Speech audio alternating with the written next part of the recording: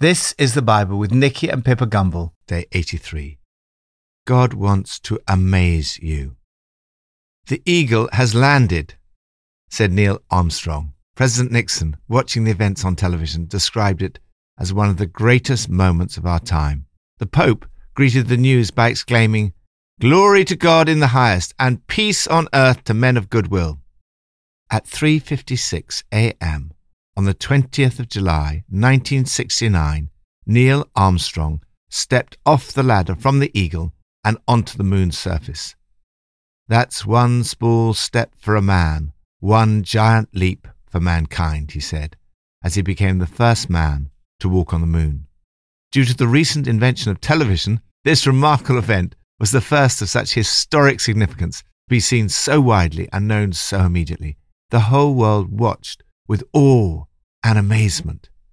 James Irwin, another astronaut who walked on the moon, said, Jesus walking on the earth is more important than man walking on the moon. When people saw what Jesus did, their response was awe and amazement. Everyone was amazed. They were filled with awe. From Psalm 37 A little while, and the wicked will be no more. Though you look for them, they will not be found. But the meek will inherit the land and enjoy peace and prosperity. The wicked plot against the righteous and gnash their teeth at them. But the Lord laughs at the wicked, for he knows their day is coming. The wicked draw the sword and bend the bow to bring down the poor and needy, to slay those whose ways are upright. But their swords will pierce their own hearts, and their bows will be broken. Better the little that the righteous have than the wealth of many wicked. For the power of the wicked will be broken, but the Lord upholds the righteous. The blameless spend their days under the Lord's care, and their inheritance will endure forever. In times of disaster they will not wither, in days of famine they will enjoy plenty. But the wicked will perish. Though the Lord's enemies are like the flowers of the field, they will be consumed. They will go up in smoke. Stand in awe and amazement at the choice of God. Do you ever stand in awe and amazement at the sort of people God chooses? Whereas the world tends to be impressed by people of wealth and power. It's not so with God.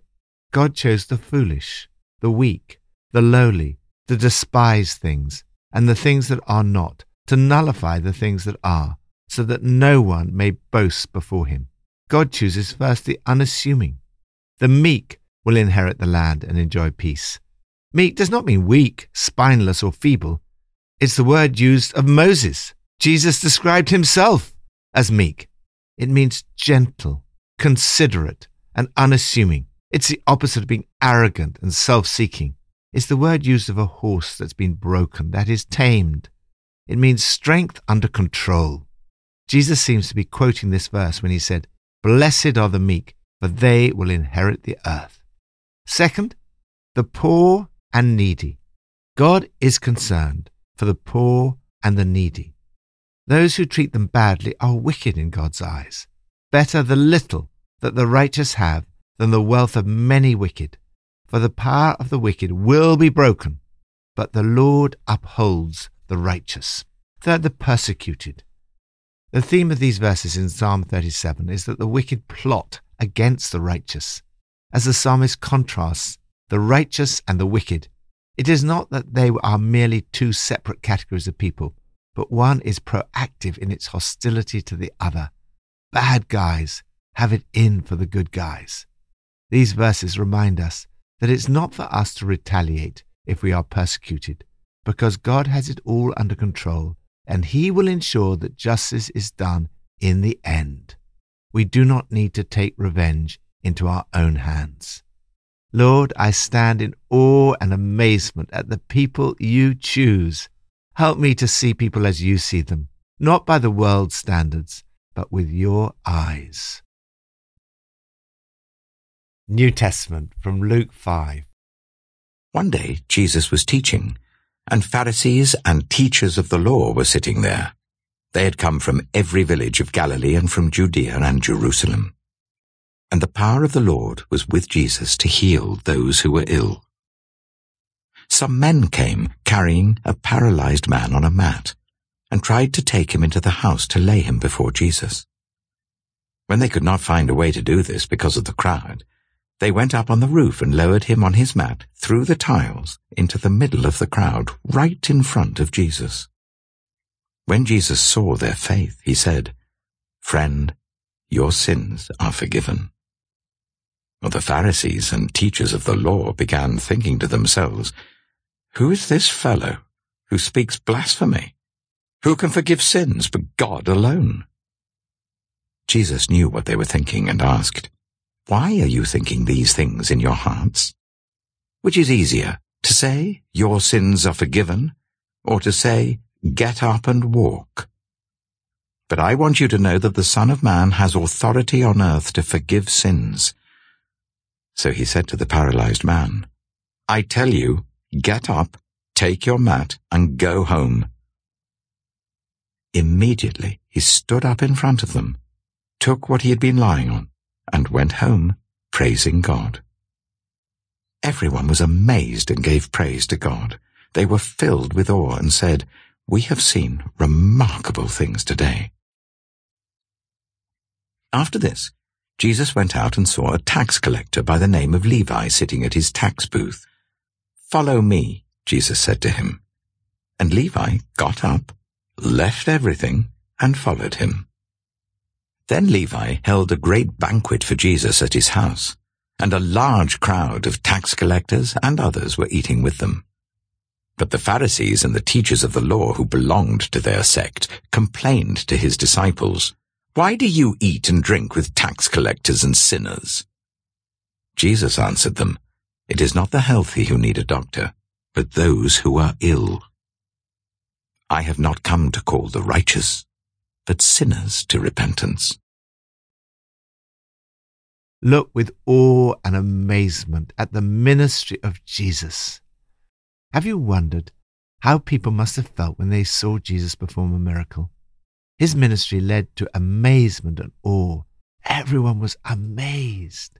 They were filled with awe. The Amplified Version captures this sense of excitement. An overwhelming astonishment and ecstasy seized them all and they recognized and praised and thanked God, and they were filled with and controlled by reverential fear and kept saying, We've seen wonderful and strange and incredible and unthinkable things today. First, healing the sick. Even in the ministry of Jesus, there seemed to be ebbs and flows in terms of healing. Sometimes, when there was unbelief, Jesus healed fewer people. At other times, as we read here, the power of the Lord was with Jesus to heal those who were ill. Second, forgiving sins. We tend to find healings amazing, but we take the forgiveness of sins rather for granted. Jesus demonstrates here that forgiveness is even more amazing and awesome than healing. He first forgives the man's sin and then shows that he has the authority to do so by healing him. Forgiveness was the priority. Third, reading people. Jesus read their minds. He knew what they were thinking in their hearts. To forgive those who've sinned against others is something only God can do. When Jesus claimed the authority to forgive the sins of those who had sinned against others, in their hearts they accused him of blasphemy. Who can forgive sins but God alone? In a sense, they were right. Jesus was claiming the authority of God to forgive sins. No wonder the people rubbed their eyes incredulous and then also gave glory to God. Awestruck, they said, We've never seen anything like that. Fourth, choosing outcasts. Jesus' choice of Levi, the tax collector, as his followers was amazing. He chose an outcast, but he made the right choice. Levi got up, left everything, and followed him. He then gave a great banquet for Jesus at his house, and a large crowd came. Levi was clearly an influential leader. People were fascinated by what had happened to him and wanted to meet Jesus. Jesus' choice was shocking and startling. Whenever I go into prisons, I see that Jesus is still calling as his followers people who are rejected by society, and I'm filled with awe and amazement. Fifth, befriending sinners. Once again, Jesus amazed people. They asked, Why do you eat and drink with tax collectors and sinners? Jesus replied, It's not the healthy who need a doctor, but those who are ill. I have not come to call the righteous, but sinners to repentance.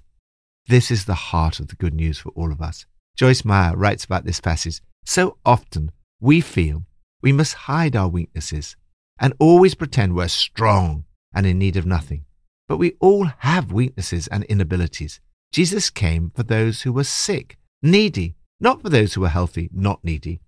Go ahead and be needy. Tell God everything you need. He already knows anyway and is waiting for you to ask for help. Lord, thank you that you are the same yesterday, today, and forever.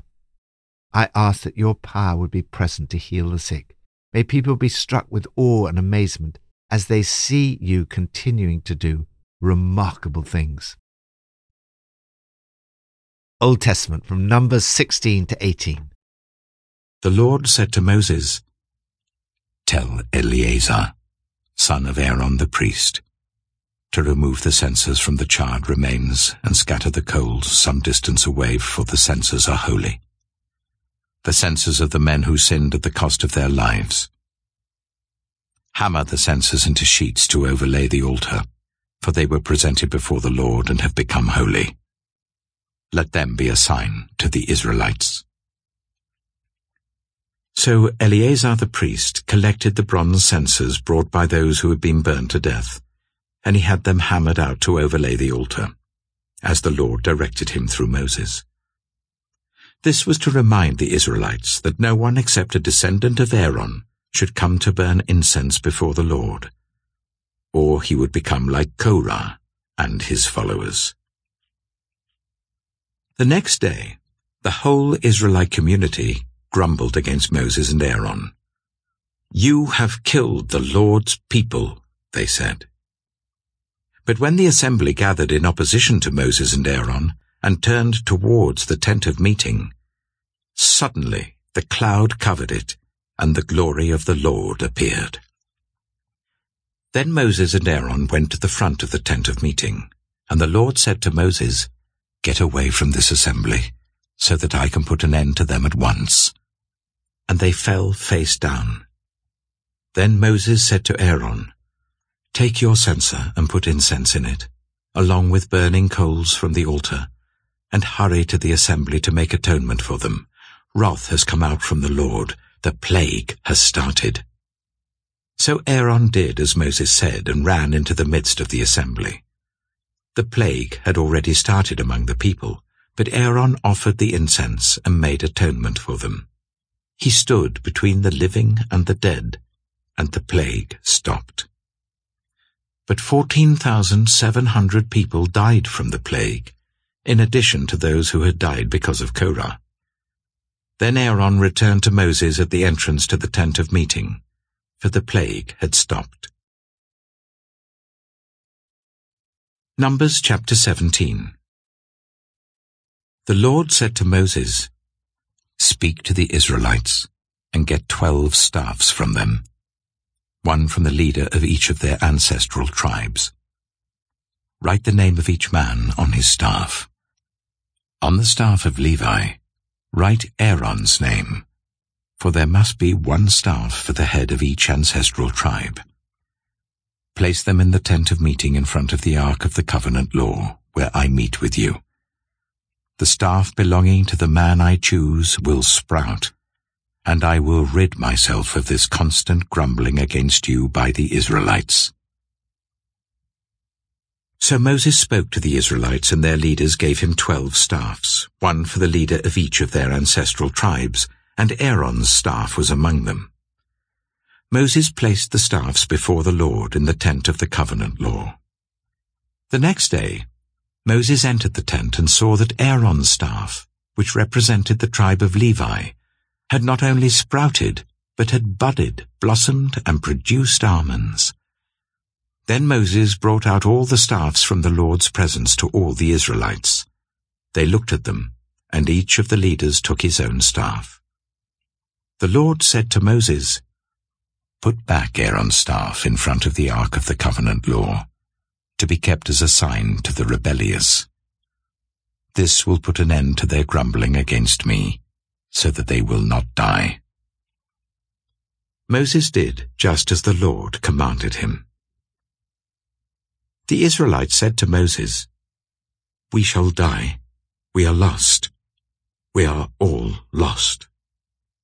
Anyone who even comes near the tabernacle of the Lord will die. Are we all going to die?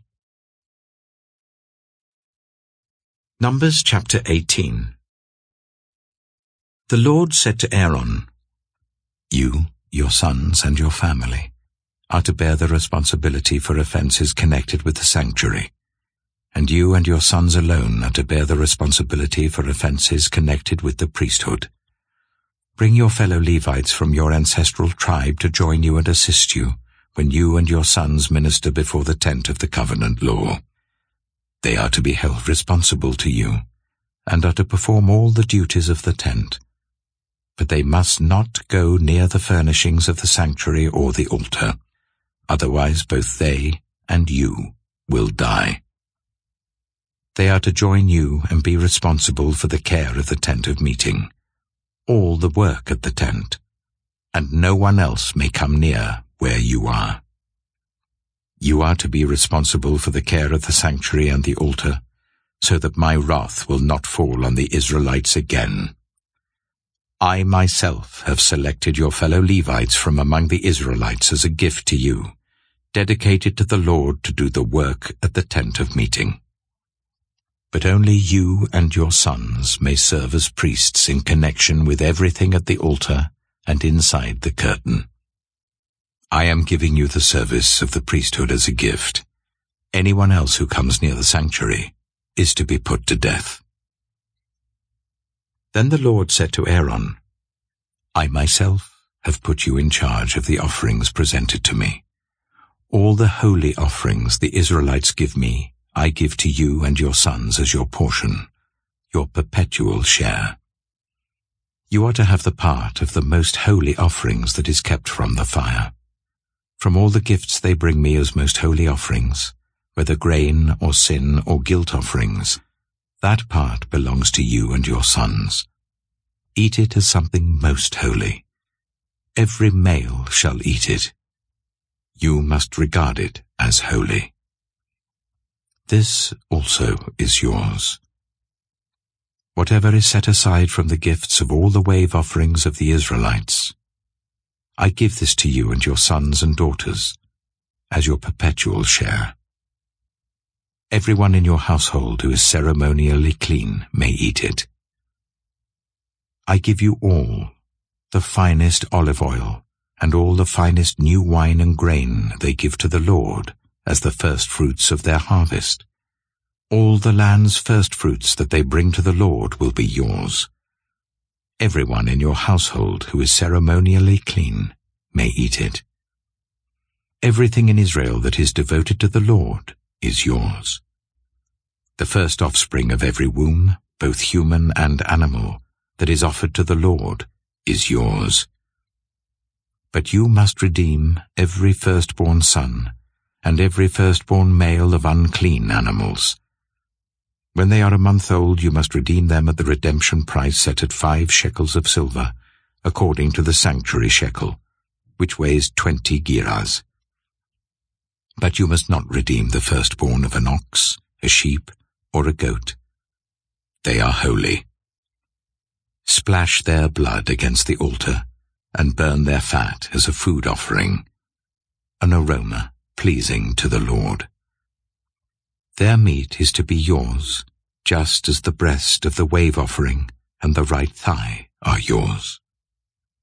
Whatever is set aside from the holy offerings the Israelites present to the Lord, I give to you and your sons and daughters as your perpetual share.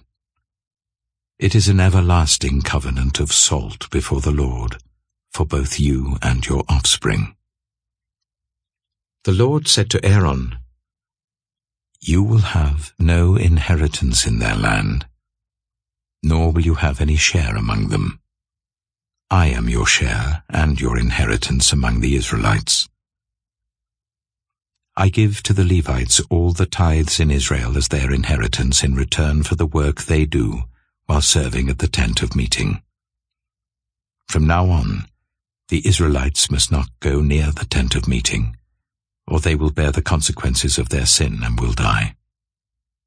It is the Levites who are to do the work at the tent of meeting and bear the responsibility for any offences they commit against it. This is a lasting ordinance for the generations to come. They will receive no inheritance among the Israelites. Instead, I give to the Levites as their inheritance the tithes that the Israelites present as an offering to the Lord. That is why I said concerning them, they will have no inheritance among the Israelites.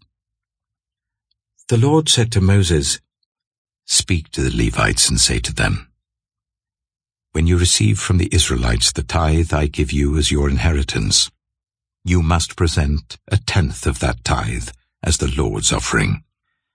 Your offering will be reckoned to you as grain from the threshing floor, or juice from the winepress. In this way you also will present an offering to the Lord from all the tithes you receive from the Israelites. From these tithes you must give the Lord's portion to Aaron the priest. You must present as the Lord's portion the best and holiest part of everything given to you. Say to the Levites, When you present the best part, it will be reckoned to you as the product of the threshing floor or the winepress. You and your households may eat the rest of it anywhere for it is your wages for your work at the tent of meeting. By presenting the best part of it, you will not be guilty in this matter. Then you will not defile the holy offerings of the Israelites, and you will not die.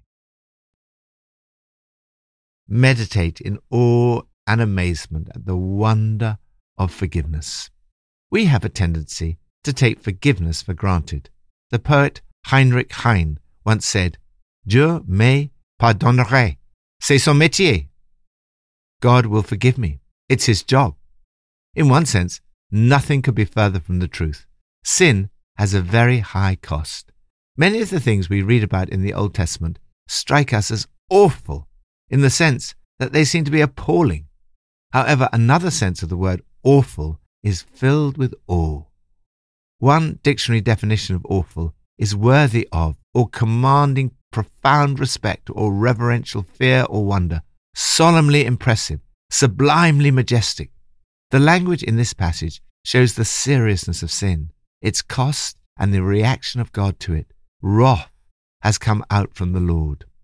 God is not pleased at, for example, constant grumbling.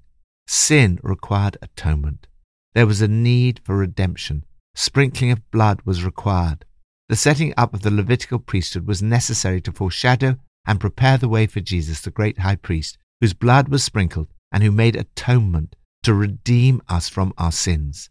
Unless you understand the seriousness of sin and the Old Testament background, which shows the difficulty and complication of receiving forgiveness, you will not understand how wonderful, awesome, and amazing God's forgiveness is. Forgiveness is not automatic, but it is made possible by Jesus. As you meditate on what God has done for you, you should be filled with wonder, awe, and amazement. Lord, thank you that through Jesus' death and resurrection, I can know that I am forgiven. Thank you that I live in the age of the Holy Spirit. Thank you for how the events of the life, death, and resurrection of Jesus and the outpouring of the Holy Spirit have transformed my life and transformed this world. May the eyes of the whole world be open to see these remarkable events with awe and amazement. Pippa adds, as we see in Luke 5, verse 17, it's not always easy to bring our friends to Jesus. It takes perseverance. It takes persistence. Well, obviously prayer and even thinking outside the box. Or in this case, dismantling a roof.